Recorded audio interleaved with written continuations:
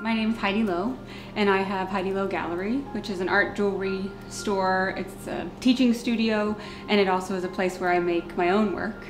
And I started 10 years ago, and we had just had our 10 year anniversary, which was very exciting. And it started out of really not being able to find a place to show my work or other artists from the field. And so I started as a way of really engaging the field and teaching about our jewelry. So, it, and our jewelry is jewelry that comes from a place of investigation and creativity rather than about the material cost or uh, a status symbol. And so it's kind of a cool intersection of art and jewelry.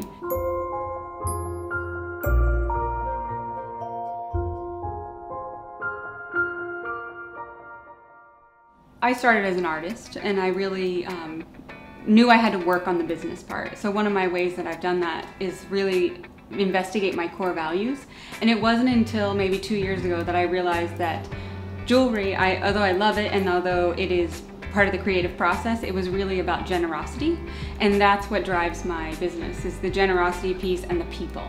And so it was really eye-opening to understand that for myself and then to be able to make decisions from that place. I would say that the strength of my business is its diversity. So I realized really early on that just showing five art jewelers and my own work was not going to sustain a business. And so I learned, okay, I need more. I need more in that. And, and I love to teach, so I teach. And that's a really great attribute to my business because it it engages two different clientele, one which wants to learn to make jewelry and one which learns that they don't want to make jewelry, which in that it really makes it um, that they can buy jewelry from us and be really excited about it and understand the value much easier. And that has been a real attribute to people either coming in to take a class or buying something off the wall. A part of the business that I didn't really anticipate is the wedding aspect of my business, which is kind of funny for a jeweler. But um, I didn't know if people would be interested in a really unique item for their wedding ring or their engagement ring. And what I found is my clients find me. So if they are engaged in something that they want to be unique, then they will come here. And I get the joy of making their engagement rings or their wedding rings or something for the bridal party. And then I also have grown that into a business where people can come and make their own wedding rings for each other. And it's uh, a private class where they each, you know, from start to finish, make their bands and leave with them.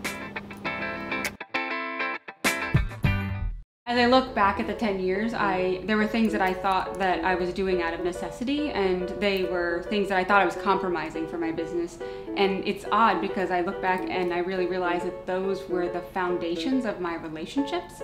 And it was that slow grow. It's like I had to really engage people and really be present and do things like sign the boxes that I send out the door with jewelry in them. And now people really covet those boxes. And I was doing that because it was less expensive and I had to start a business and that was one of the things that I decided was okay to do. And now it actually, these things were my branding techniques that worked in hindsight.